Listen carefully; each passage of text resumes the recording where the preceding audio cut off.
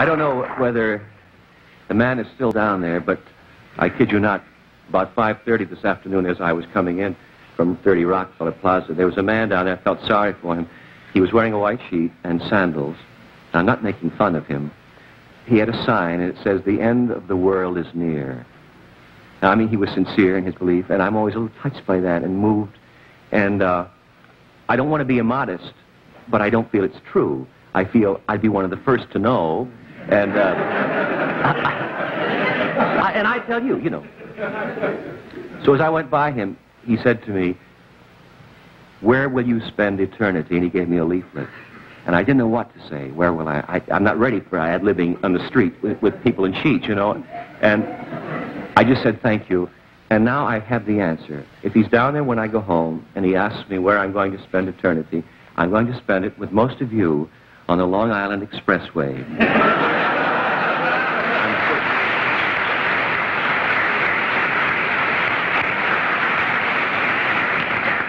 Strange things are happening around, you know. Why is it that people don't dance together anymore? I mean, the music starts and you get up with the girl and you don't see her again till the thing is over. It's like being an only child and going on your honeymoon with your sister. Why, why is it that children's shoes are so expensive?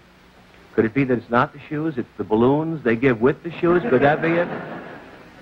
And if there is an unemployment problem in this country, why is it that you can't hire a housekeeper anymore for $65 a week plus room and board? Why? Maybe, maybe, maybe it's understandable. There's such a demand for movie starlets. That perhaps is one of the reasons. Why does everybody else want a taxi cab at the very same moment that I do? I mean, a little rain never hurt anybody. Why is it that the taxi meter jumps on that last stop after you have the change already? Another dime. It isn't the money, but you have to get more change. That means, and if you're wearing a tight Brooks Brothers suit, you have to lie down on the floor again, hands in your pockets. Why is it when you want to go down the elevator, you press the button, and it's always going up? Why is that? And when you do get in, it's very crowded, and the operator says, everybody step to the back and face the front. Well, I want to face the front, but I can't because the woman, the woman facing me, somehow her umbrella got between my legs and opened. And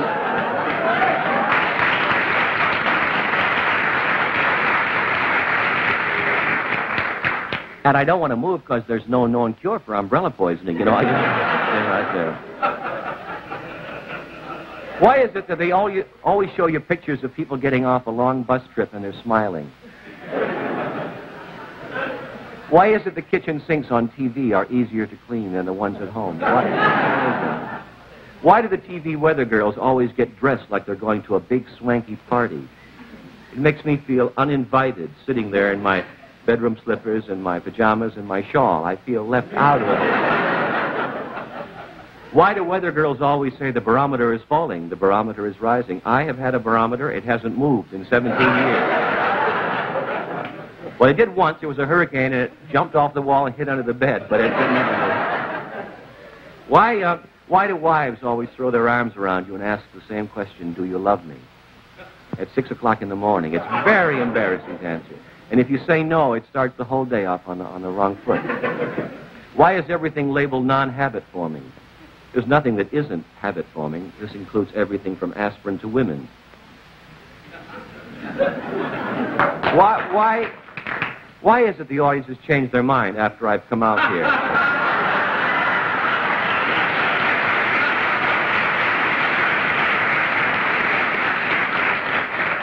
Why is it when somebody dials a wrong telephone number and gets me, they act like it's my fault? You'd be surprised the people who just won't believe that we're not the uh, Sears and Roebuck uh, garden tool department, you know. I say, I'm sorry you have the wrong number. They say, what? Uh, they say, uh, uh, are you sure? And I say, well, have, have I ever lied to you before? You know? they cannot believe that they have dialed the wrong number. They feel that I have answered incorrectly. That's the thing. Or sometimes they'll say, is Mildred there? And I'll say, I think you have the wrong number. What number is this? What number are you calling? So now the answer, you say, Mildred's here, but she's too drunk to come to the phone. why, are, why are stockbrokers so anxious to give you advice? Why don't they take their own advice and get rich? Why do they need a middleman like you? Why, uh, why do they have station wagons with 300 horsepower and advertise them as just the thing to take the family to the picnic? Why do they advertise that it has disc brakes, four-wheel disc brakes? Because that's very dangerous. You're going 100 miles an hour on the New Jersey Turnpike, and you apply the brakes, the car stops like that. But you and your family continue on to Norfolk, Virginia, you know. But you'll be in time for a good table, so I guess it's all right. Why is it when you're sitting in a restaurant with your wife, she always discovers a draft?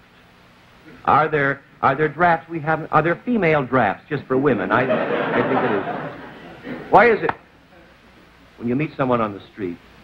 I have a very good memory. People tell me, and I meet a friend that I've known for some time, and they walk up, and I cannot think of their name. And so you do some fancy footwork. You say pal or old friend, and that's all right. And then you break into a cold sweat because coming down the street is another old friend whose name you cannot remember.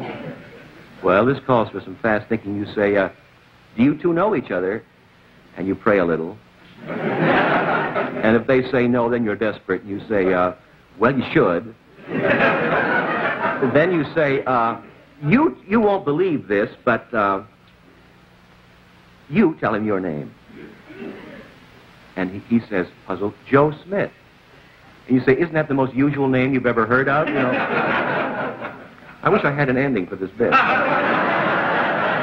know, I was thinking tonight, I was thinking tonight uh, on the old show, at this very spot, very spot here, I walked out. Now, I don't use a script. And what I do is I'll, the last hour before I come out, every night in those days, I'll sit down, and I have very good writers, of course, and they supply material, and I have my own reaction and my own opinions of what's going on in the world. And so I write out in longhand. Now, if I am not disturbed, I mean, if no one will talk to me, I can memorize 8, 10, 12 minutes every night, unless I'm distracted. So I walked out here one night and stood. But just the moment before I walked out, there was an actress whose name I won't mention. One of the most beautiful women. She was a model, and uh, and an actress, beautiful girl, very intelligent. I'm very fond of her. And she came back at the moment, and I said, hello, sweetie, how are you? And she, I said, how's the child? And she, her lip began to tremble. And I said, oh, my God, what's wrong? She said, my husband and I are being divorced today. And with that, she began to sob on my shoulder. Well, I was so taken back and so shocked and so sick at this, because they're nice people, that I heard the theme, and I heard his jack. And I walked to this spot, and all I could think of what was happening back there. Now, I'm not going to blurt it out and say what happened like I usually do. It only makes it worse and would hurt her. So I said, Good evening. I can't think of a thing to say. And so I said, Good evening. I've been drinking.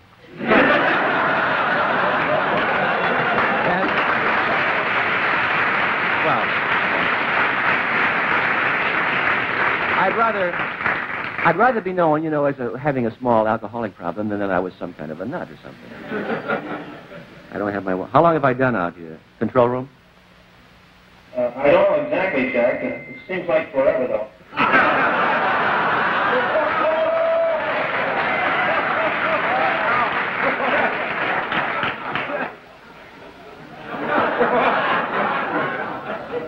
well, I mean, have I done enough? You have as far as we're concerned.